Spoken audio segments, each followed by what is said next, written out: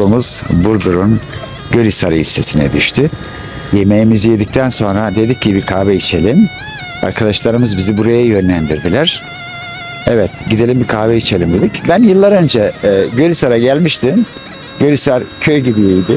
Kusura bakmasınlar ama şimdi butik bir şehire dönüşmüş. 20 bin nüfuslu muhteşem bir şehire dönüşmüş. Memiş'in çörek otu kahvesi. Evet şu anda oradayız. Bakalım içeride bizi neler bekliyor. geldiniz. İyilik, sağ olun. İyisiniz. Sağ olun, teşekkür ederiz. Ayağınıza sağlık, hoş geldiniz. Hoş Sağ olun, geldiniz. çok teşekkür ederim. Sizi tanıyabilir miyiz? Ben ismim Memiş Bilgin. Burdur Gölhisar'da yaşıyorum. Ben sahibiyim. Ee, çok güzel, otantik bir mekan hazırladık. İnsanları buraya geldiği zaman bir hikaye yaşasın, yaşadıklarıyla sohbet etsin, eşyalarla sohbet etsin, geçmişlerini bir gitsinler diye böyle güzel bir mekan hazırladık. Evet, Şimdi Buyurun. biz biz buraya geldiğimizde dedik ki buranın nesi meşhur? Dediler ki çörek otu kahvesini kahve mi? Kahve. Çörek- Biz kahve demiyoruz, kahve. Tamam. Çörek otu kahvesini içeceksiniz. Kavurmasını Yiyeceksiniz. yiyeceksiniz ve sipsi dinleyeceksiniz dediler. Çok doğru söylemişler. Doğru söylemiş. Şimdi kavurmasını yiyeceksiniz. Tamam. Üzerinde kahvesini içeceksiniz. Güzel bir müzik rezidansı yapacaksınız. Sipsiyi de dinleyeceksiniz. olarak E, Gölhisar'dan evet, ayrılacaksınız. ayrılacaksınız. Ayrılacaksınız. İşte bize bize böyle dediler. Bakalım kahvede bizi neler bekliyor. Çörek otu kahvesi. Biz yine dilimizin alışkanlık e, yaptığı gibi kahve diyelim. E, burada kahve diyorlar. Bakalım bizi burada neler bekliyor. Şimdi ne, ne yapacağız? Ne yapacağız Memiş kardeşim? Şimdi önce içeri bir gezeceğiz. Gezdireceksiniz. bizi. Gezdireceğiz. Ondan sonra gezdikten sonra kahvemizi yapacağız. Karşılıklı beraber Kahve elimizi dilimizi yaka yaka kahve içeceğiz. Elimizi dilimizi yaka Yaka yaka. yaka. elimizi dilimizi yaka yaka. Peki teşekkür ederim. Buyurun teşekkür o ederiz. zaman Buyurun. girelim.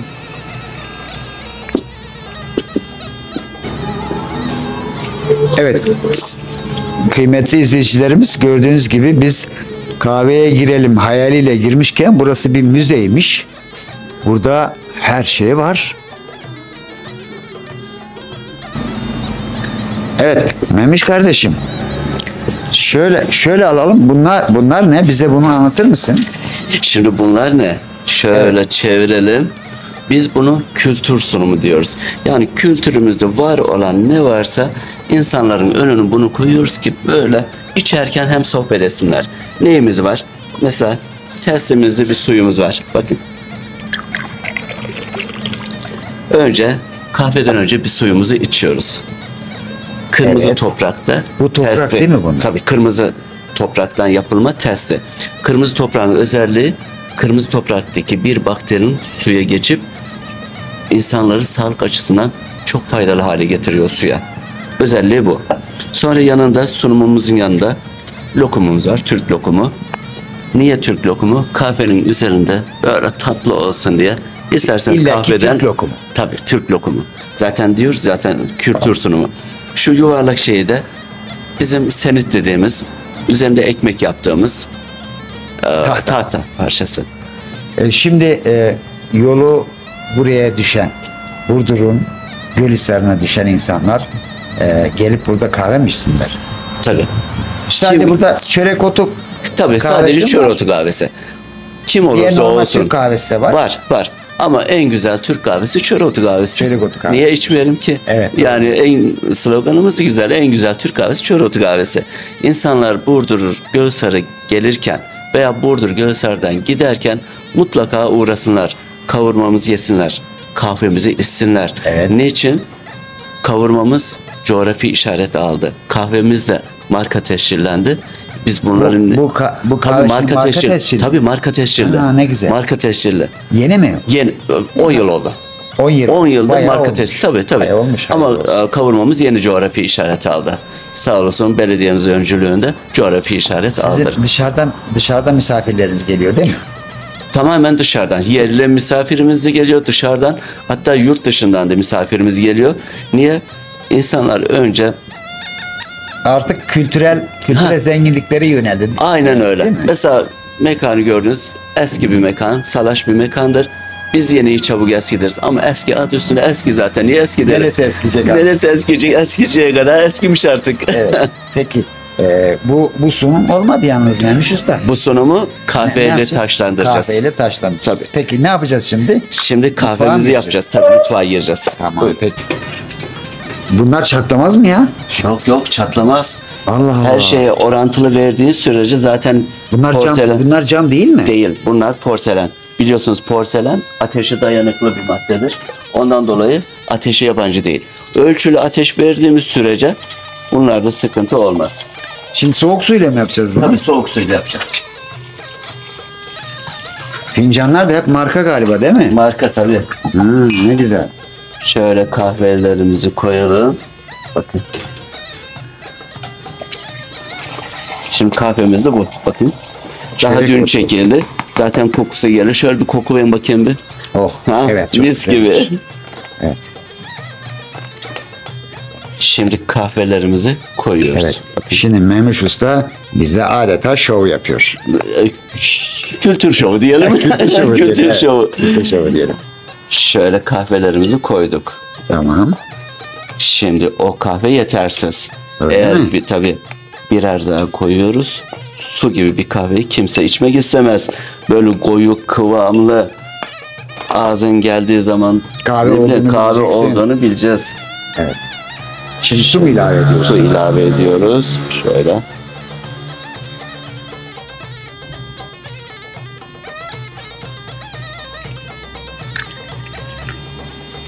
Şimdi kaç kişilik oldu bu Memiş Usta? Şu anda 5 kişilik bu. 5 kişilik oldu. Tabii şekerini unutmayacağız. Kahveye tat veren şekerdir ama biz kullanmıyoruz.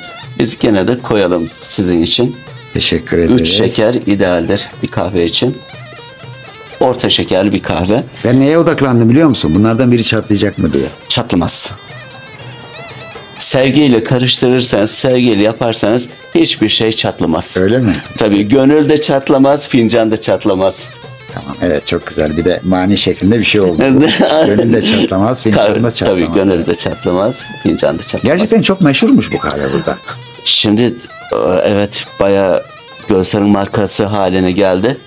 Dışarıdan birçok müşterimizin geldiği gibi yurt dışından da misafirlerimiz Bu geliyor. kahve içmeye mi geliyor? Tabii tabii hem dibini kadar kükümünü kadar içiyorlar. evet.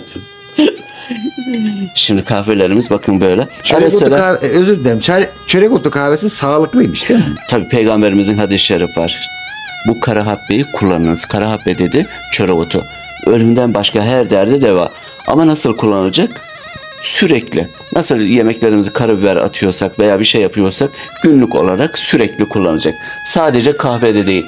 Mutfakta olsun, günlük hayatımızda olsun.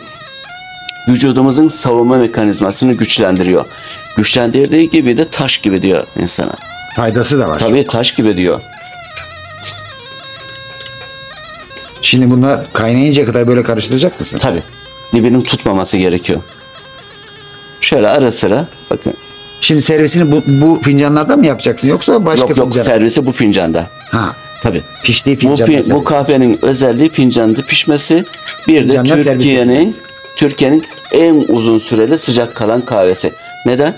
Fincan ısınacak. Fincan ısındıktan sonra da Kolay kahve soğumuyor, pişecek. değil mi? Kahve pişecek.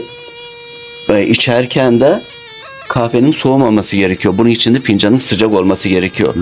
Tabii böyle olunca da kahve keyfi hiçbir zaman yarım kalmaz. Son yudumunu kadar elinizde ağzınızda yanar. İçeriz. Ama cebinizi yakmaz bizim kahve. Öyle mi? Tabii. Cebimizi yakmaz derken ne kadar mesela bu?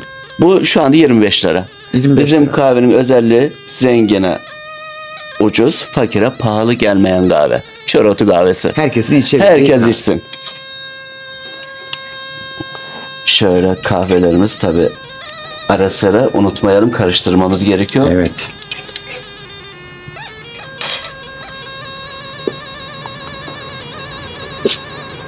Her karıştırışta biz bunu tat katıyoruz. Bal katıyoruz ki insanlar içerken o harika bir kahve desinler. Ballı kahve mi desin? Ballı kahve desinler. Evet. Mesela şu kahvemiz olmak üzere şu anda. Ne zamandan beri yapıyoruz bu işi Memşus'ta? Baba mesleği bu bizim. 50, Kaç 50, nesil? 50 yıldır yapıyoruz. 50 yıldır yapıyorsunuz. yıldır yapıyoruz. Zaten paketlerimizde kahvelerimizin üzerinde yazar 76. Ha bir de satıyor musunuz? Tabii.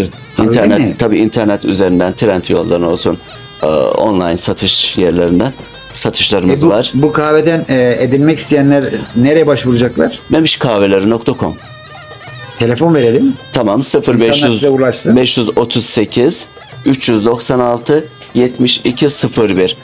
O kahvemizin birisi Evet, çıktı. bir tanesi. Çok güzel. Bakın Muhteşem görünüyor gerçekten muhteşem. şöyle bir daha karıştıralım. Biz bunu göbek atma diyoruz. Kahve bir sefer göbek atacak ki Kahve pişmesi. göbek atacak. Tabii. Bakın bu göbek atıyor şu anda. Ha. Bakın. Yani göbek atması ters gelmesi. Bakın. Şu anda bu da oldu. Piştiğin anlamına mı geliyor? Tabii. Piştiğinin anlamını geliyor. Evet gerçekten Şu anda kahvelerimiz bir daha karıştıralım. Bir de tadını da merak ediyorum ha. Tabii asıl siz asıl zurnanın zırt dediği yer orası artık. İçerken. İçerken. İçerken zurnanın zırt dediği yer orası. Peki.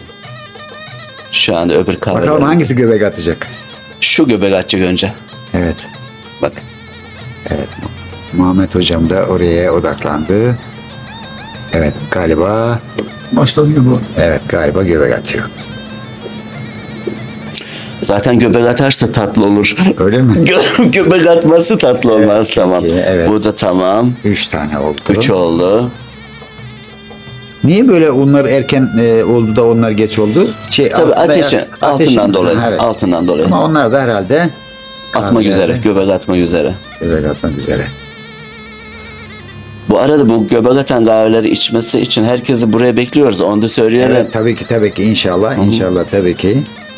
Artık bizim izleyicilerimiz de bu göbek atan kahveyi içmek için Burdur Gölhisar'a Burdur. Gölhisar, Ama özellikle. sizden başka bunu Biz- yapan var mı yok, burada? Yok Sadece burası var. Bir tane yeterli Bir zaten. tane yeterli. Bir garılı etten iki garılı bitten ölürmüş. Hiç gerek yok.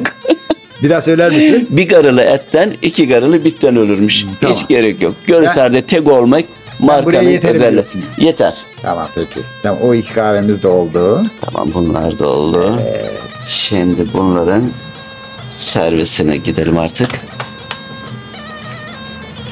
Evet. Evet şu anda şu an ne yapıyoruz? Şimdi servisimizi yapacağız. Evet. Servisimizi yaparken de tabii bunları olduğu gibi bu servis komple müşterinin oluyor içinceye kadar. İçince ondan İçinceye sonra... kadar ondan sonra bizim. Tamam peki.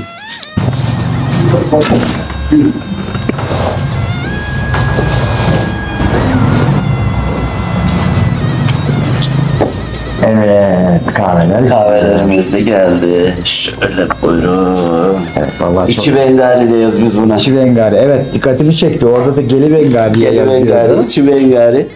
Bizim yöresel şivemizdir bu. İnsanlar bu şiveyi daha böyle kendilerini Hoş samimi hissediyorlar.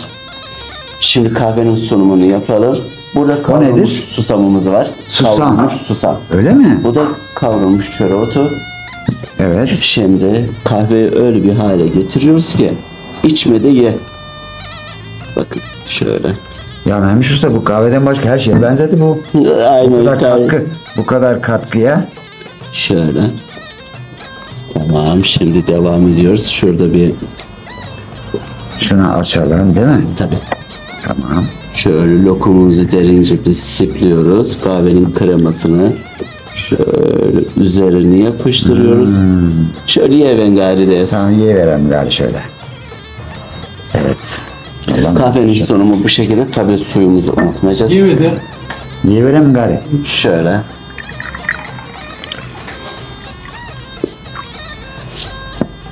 Suyumuzu koyduk. Lokumları bu şekilde tüketiyoruz. En sonda kahvemizi Başka? içiyoruz. Lokumlar başka şekilde yiyince küsüyor mu lokumlar? Küsmez de ama e, bu şekilde lokumları bandırıp bandırıp yiyoruz. Bandırıp bandırıp yiyoruz. Hem kahve acı olsa dahi kahvenin acılığını önce lokum yiyoruz ya. Alıyor, Acı alıyor. Tabii. İnsanlara kahve acı gelmiyor artık. Evet. Şöyle yapalım. Ben çöre otusundan alacağım. Daha faydalı çünkü. Şöyle bakın. E ben de ondan alayım. Ben de alalım. alayım o zaman. Şöyle de tokuşturalım. Herkesi bekliyoruz. Vallahi Hadi evet ya. bakalım. Çörek otu kahvesini içtik. Gerçekten ben biraz tereddütlü yaklaşmıştım. Ee, Memiş kardeşim kusura bakma. Çünkü ben böyle büyük bir fincanda hiç böyle çörek otu kahvesini lezzetli olarak içmemiştim. Her şey için çok teşekkür ederim. Ee, bizim seyircilerimize ve izleyicilerimize söylemek istediğim bir şey var mı? Bir de bu kahveyi nasıl edinecekler? Gerçi biraz önce söyledin ama bunu bir tekrarlayalım. Tamam. Şimdi kahvemiz dediğiniz gibi büyük. Duble. Niye duble? Biz her şeyin çoğunu, büyüğünü severiz. Çok olacak ve büyük olacak. Birincisi ondan. İkincisi de kahvemiz e, memşkahveleri.com sitemizden alabilirler. Ya da telefon numaramızı da söyleyebiliriz. Tamam, bunu bir daha 0538 0538 396 7201. Eğer edinmek isteyen misafirlerimiz Peki buraya, olursa buraya e, kahve içmeye gelenler de buradan da alabiliyor mu? Burada Tabii şu tabii anda tabii. mevcut var, var mı? Var. Her an 7-24. Sürekli gün içerisinde paketleniliyor. Reyona konuluyor. Bunu kendiniz mi yapıyorsunuz? Tabii kendimiz taş değirmenlerimiz var iki tane. Özellikle taş değirmen diyorum. Niye? Çünkü taş değirmen hiçbir zaman kahveyi yapmaz. Bir de tadını bozmuyor galiba. Tadını bozmaz. Kahveyi yapmadığı gibi tadını da bozmaz. Daha lezzetli hale getirir. Taş değirmenlerde çekiyoruz günlük olarak. Buraya gönderiyoruz. Kızlar paketleme işiyle uğraşır ve reyonu koyarlar.